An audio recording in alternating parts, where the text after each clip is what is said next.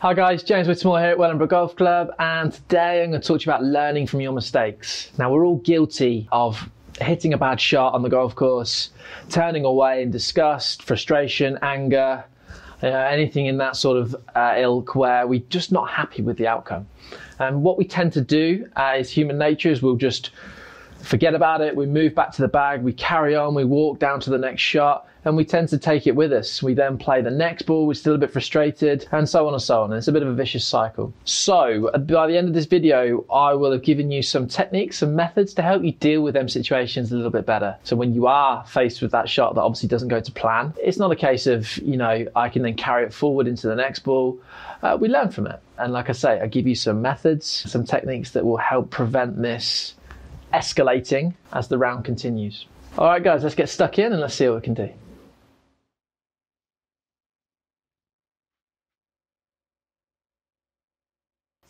Right, learning from your mistakes. What do I mean by that? Well, what I mean is that when we're on the golf course, we're all guilty of doing it.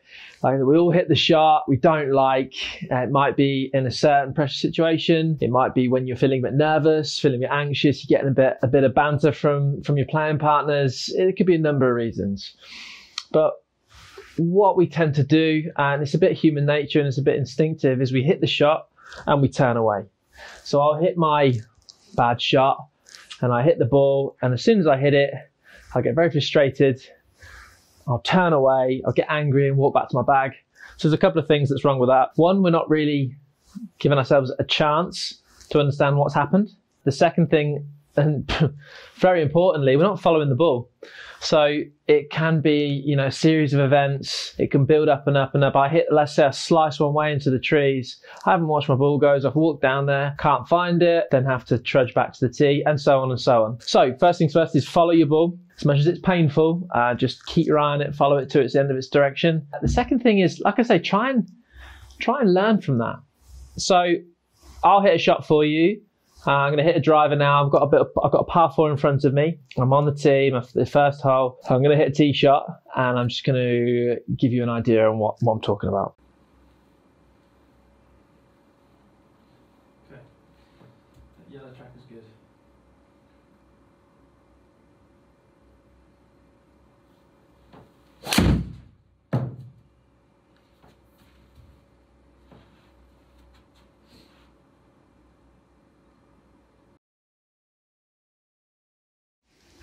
Right, well, there you go. So I've blasted it way right into the trees. I'm annoyed, but at the same time, I've got a feeling of what I did wrong. Okay, so the next time I pull driver out, I know that in my mind, I can feel like I can correct that by changing my movement pattern. So all I, I'll demonstrate, all I did there, I felt like I did as I come through the ball, hands were quite high, blade was open, and that forced me to tail off to the right.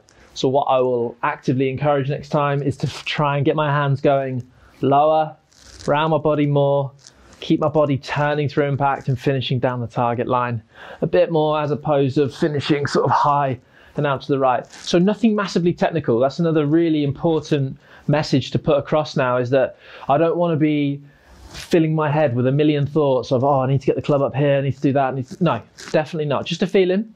So like I said, the feeling for me is going to be hands a bit lower, a bit more around my body. Trust that and go with it. And again, you have to trust yourself. You have to back yourself because again, it's very easy to cloud this thing, and before you know it, we're in a world of pain, and it's very, very difficult to get past that. So I'll hit another one now, same shot with that difference in feeling, and let's see how I get on this time round.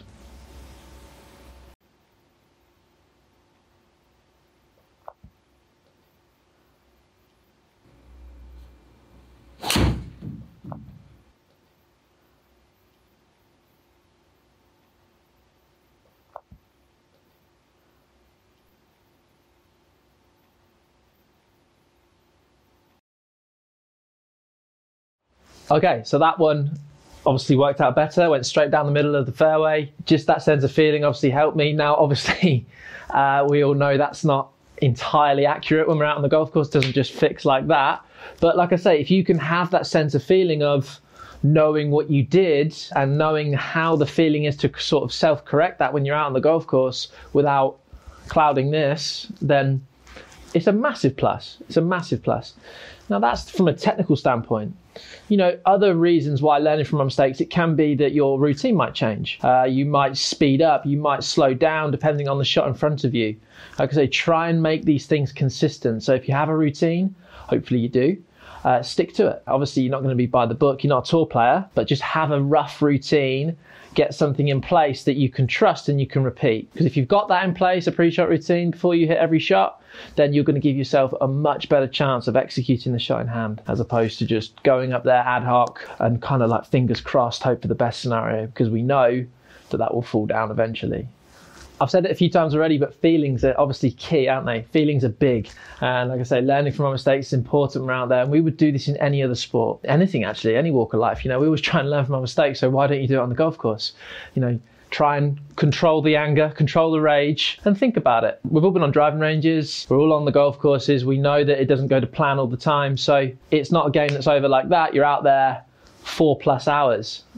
So try and make the most of it chill, calm down, collect yourself, and you will give yourself a much better chance of making scores that you're happy with. Okay, guys, there you go. Hopefully, like I say, you give yourself the tools now to learn from their mistakes. Uh, again, we know it's not as simple as that, but just gives yourself a better chance. I say, so next time you're out there on the golf course, hopefully fingers crossed very soon in the UK and you're on that tee or you've got that awkward shot that you don't fancy, you've got a long shot into a par four, whatever the situation is and it goes wrong, which it can do, learn from it. Follow the ball, think about what happened during that series of events. Was it your routine? Was it your technique? Did something change? Did you get distracted? Whatever that might be, try and learn from it. Keep that in mind so when you play your next shot from a similar scenario, you're much better equipped to execute the shot. Okay, thanks very much. If you like what you've seen, click the like button, leave a comment. It'd be interesting to see how you get on with that one, and subscribe to my channel for more videos coming soon. Thanks very much.